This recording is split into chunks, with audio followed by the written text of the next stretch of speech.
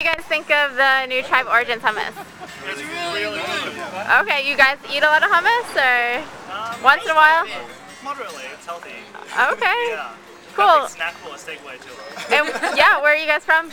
Australia. Oh wow, awesome. Well, you can find it in if you're, you know, here for a while in just our regular grocery store, Safeway, Lucky's. Yeah. Need a good snack. Thank you guys.